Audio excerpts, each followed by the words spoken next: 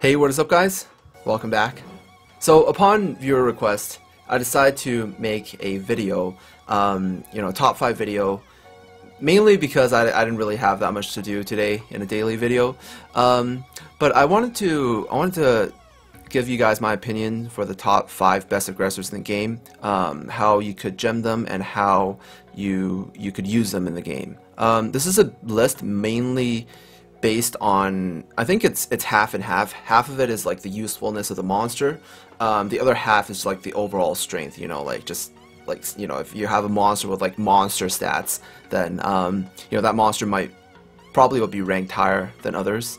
Um, so yeah, we're gonna we're gonna just go in really really quick. Um, it's just a really quick top five list, but I think there are some def there are gonna be some ties here. Um, you know, please allow me to cheat a bit. There's it's it's it's really hard. It was really hard, um, really hard not not including some some of the monsters on the list.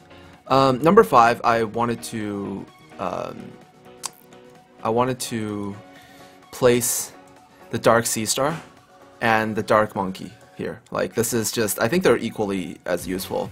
Um, allow me to explain. I think a lot of people would disagree with me on this. Uh, they would think that the Dark Sea Star is definitely a lot more useful than the Dark Monkey. Uh, we're gonna talk about the Dark Monkey first. His his base HP um, for a defender is is pretty good. Um, I think most defenders have pretty pretty high amounts of HP. Um, 2,800 is definitely a little bit on the higher side um, for just all monsters in general. If you take a look at, at some attacker monsters, um, you know their HP is definitely a lot high, a lot lower.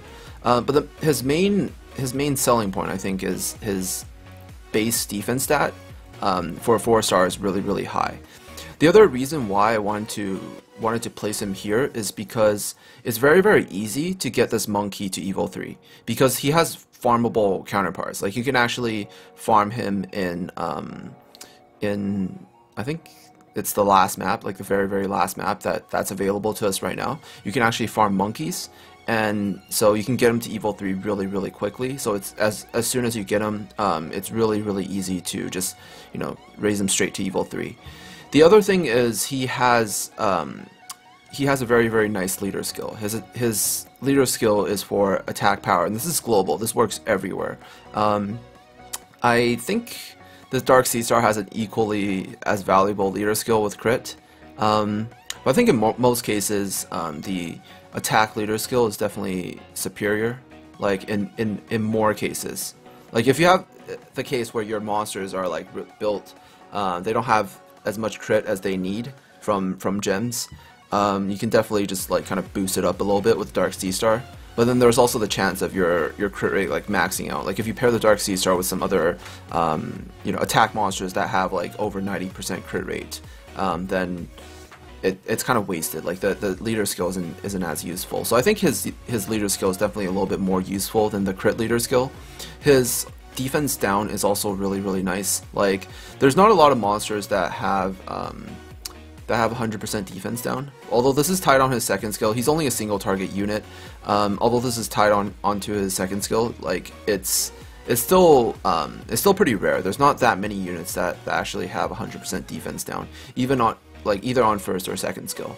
Um, so I I don't necessarily think that him being a single target unit is is weaker in any way to an AoE unit because single target units do have their uses. Um, you if you use him against like boss monsters, like boss monsters that have a lot of HP. For example, Golem B10, which is probably the most popular place where aggressors are used. Um, if you use him against the boss, he can actually provide an armor break, and there's no other armor breaker in the game that also is an aggressor, so that makes him unique in this sense. Um, and yeah, his uniqueness and his, um, I think, you know, how this really isn't um, replaceable, and how his his defense stat is slightly superior to the Dark Sea Star. Um, I would put him here um, on the same place with the Dark Sea Star. The reason why, like after I said all these nice things about the Dark Monkey, the reason why I placed the Dark Sea Star um, as a tie against him is because the Dark Sea Star is useful everywhere. Like you don't necessarily um, always 100% need armor break. Like you can provide armor break, like another monster, a different monster. Like in arena, for example, you can have like a Woodleo or something like that to provide armor break. Um, so you don't necessarily need a, a monster that has you know that has armor break in one of their skills and aggression on the on the other. Um, the other the other thing is the you know the Dark Sea Star has aggression on both her skills, so she's al always going to be doing doing lots and lots of damage. Um, and you know although her defense stat is a little bit lower, her HP is is slightly higher. So in this in this sense, she's um, she's pretty much just as tanky as the as the Dark Monkey. You know, if you if you have like the proper gems with like HP sub some HP sub stats and stuff, you can definitely um, boost it really really high. The the crit leader skill, although you know I, I did say that sometimes it can max out and stuff. Um, the the good thing about this leader skill is it can actually help you make certain monsters usable. So for example, you have an attacker that um, doesn't have a square slot and is like, you know, reliant on crit damage. You can actually use the Dark Sea Star leader to boost the crit rate of that monster up. And this this crit leader is also um, also it's it's not uh, it's it's usable everywhere. That's that's what I meant to say. Um, it's not like limited to you know dungeons or PvP or anything like that. You can use this leader skill everywhere. And crit rate leaders are actually a little, little bit more rare than attack leaders. There's actually more monsters that have attack leader than, than crit rate leaders. Um, so yeah, she definitely has her uses as well. You can use her in a lot of dungeons. Pretty much every single Golem dungeon you can use her in, um, you know, Golem's B10. She's pretty pretty good for arena. Um, one thing I forgot to mention is they're both dark type, and dark type monsters do come with that nice 100% crit, crit damage. So, um, you know, I do really, really favor dark monsters a lot more than than light monsters. So that's that's number five. Um, number four, I think um, I'm not I'm not too sure if I should like, like make this a tie, um, but it's gonna be it's gonna be the light light Shiva. Um, yeah, wait, actually there's no tie. It's just it's just the light Shiva. Um, the light Shiva is really really nice because he has a he has battle rush. This skill is I think unique to only two monsters. Only the light Shiva and the dark um, Odin has battle rush. I think. Correct me if I'm wrong, but um, pretty sure. Like I'm not too familiar with the light dark Nat fives, but um, he also is an HP aggressor. He has HP aggression on his second skill. HP aggression is is um, in many ways not as strong as as uh, defense aggression. Um, it used to be that HP aggression didn't scale as well as defense aggression, but ever since the buff, um, HP aggressors did get a lot stronger. The reason why he's really really strong as an HP aggressor is because he has the ability to heal himself. So through his battle rush, he is able to um, gain HP and SP. So he's basically always going to be healing himself. So there won't like his sustain won't be a problem. It won't be hard to to heal him up even if you boost his HP over like you know to to like I don't know 14k or some some crazy number like that. Um, or not 14, um, 140k, I mean. Um, and he also has this really nice leader skill if you can ever summon him as a variant. It's going to be a little bit hard to get um, Nat 5 leader skills, so I'm not going to I'm not going to weigh this too heavily. Um, I don't think it's too it's it's all that easy to get a Nat 5 leader skill. But obviously he is from he is from Fusion, so if you make an Evo 3 version of him, you'll need at least 3 Shivas. Um, and if you fuse 3 Shivas, you know, there's a chance that one of them can like there's a higher chance that one of them can come out as a variant than if you um, you know, if that monster is only only summonable. Um, yes, so he he also has ba battle rush. Like his, I talked about the HP healing part of his battle rush, but there's also an SP portion of his battle rush, which basically acts as a, a morale boost, meaning that he's going to be able to spam his second skill a little bit more, um, making making sure that he's going to be able to do lots and lots of AOE damage through his second skill. He is light type. Um, he doesn't have that, you know, really really good crit damage, but light type monsters do come with 10% more crit. Um, and he is a Nat 5, so I think he, I definitely think he deserves to be on this this part of the list.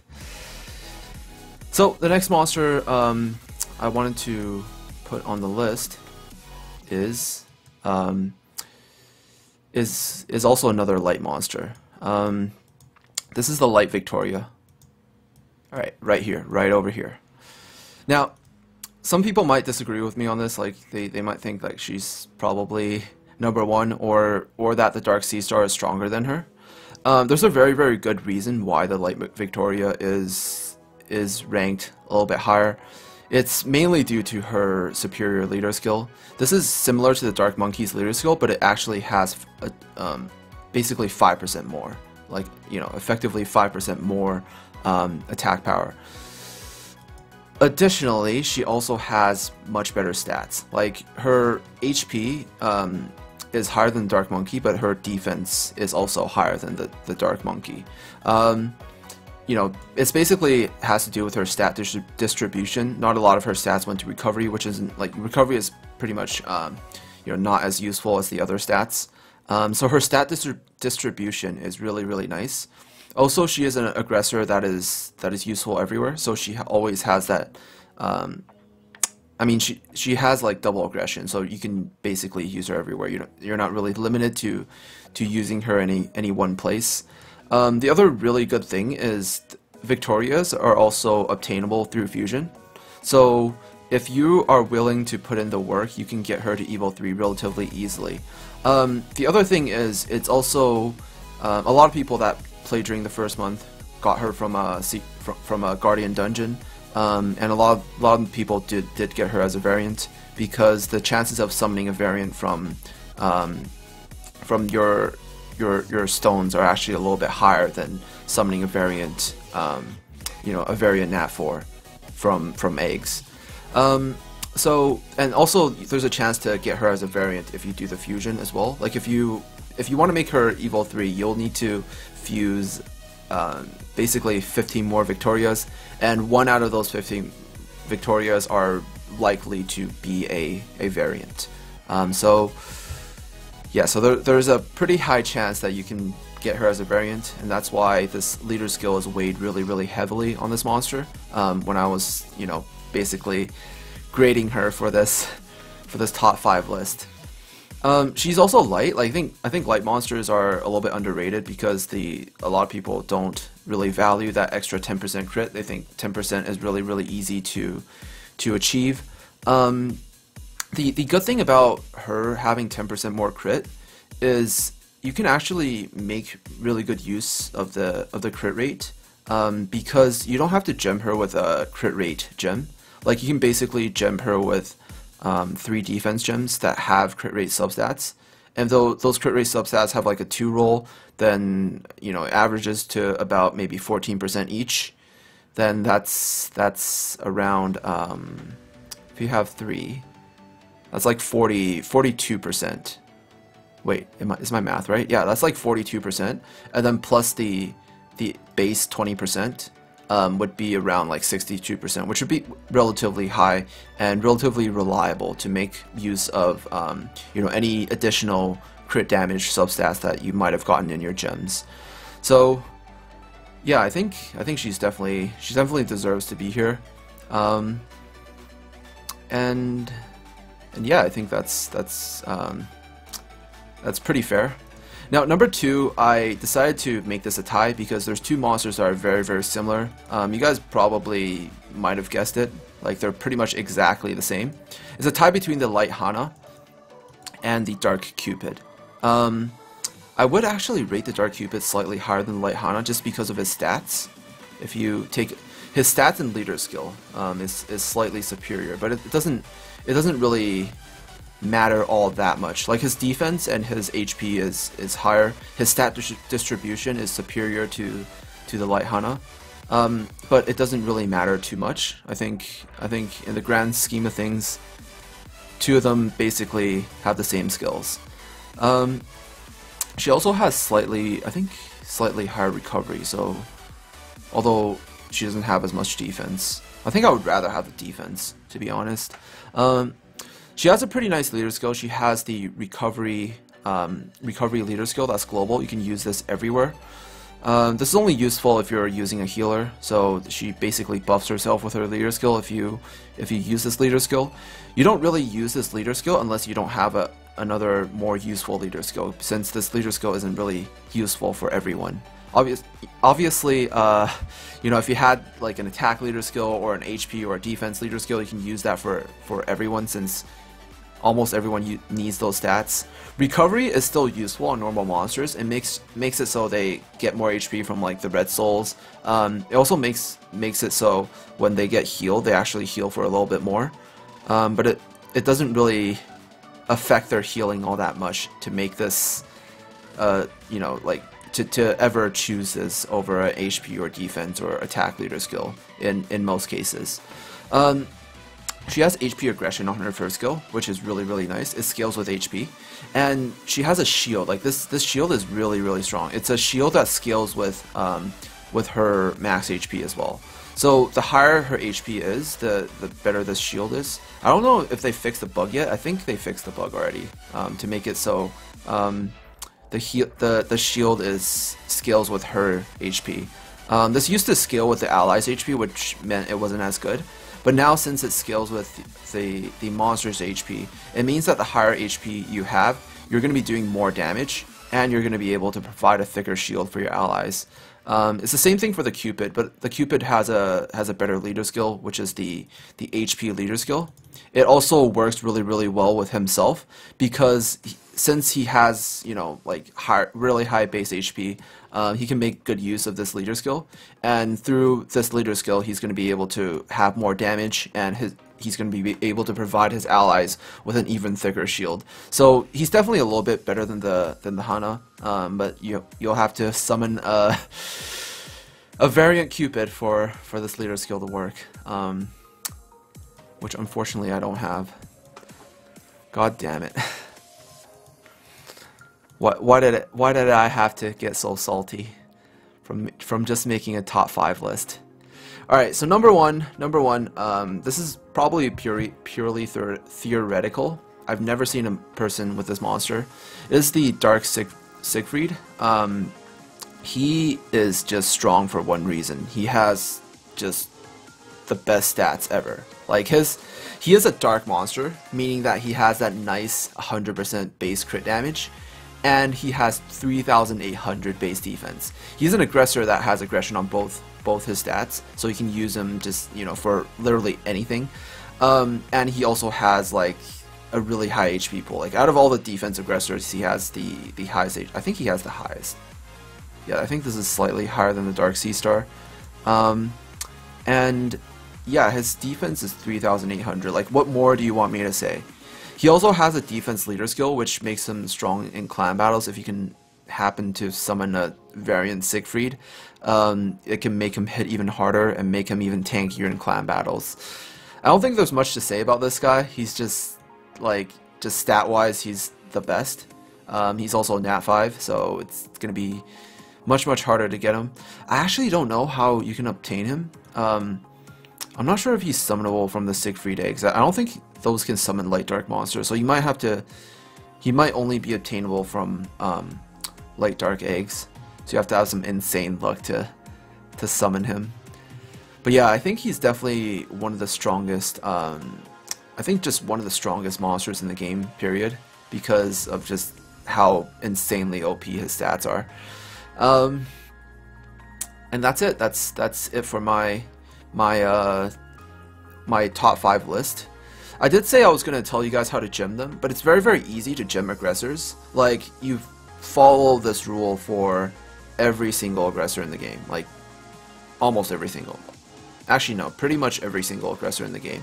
There's there's a few uh, there's a, there's a few really really unique exceptions like the the uh, the light cupid who has like the only recovery aggression which is like like only he has this. Nobody, no other monster in the game has this. Um, but you don't, you wouldn't want to gem a monster with like three slot recovery because he would just be squishy as hell and just die immediately.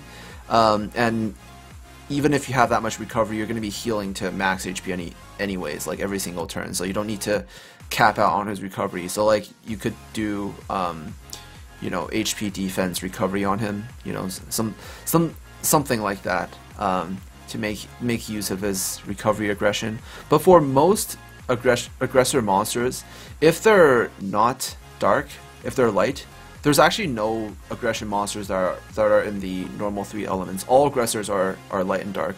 Um, if that monster is light, you basically gem them with three slots of the same type of, uh, like whatever type of aggression they have. So if, if it's the light Victoria, you would gem her with three, three slot defense. Um, if it's like, you know, if it's like the light Hana, you would gem her with three slot HP because it's HP aggression. Um, you know, same thing with the light Jean, who is also HP aggression. You would gem her with three three slot HP. She's actually pretty good. Um, if you can if you can get her as well, but it's, it's probably harder to get her as a variant. She does have a have a nice attack leader for your team.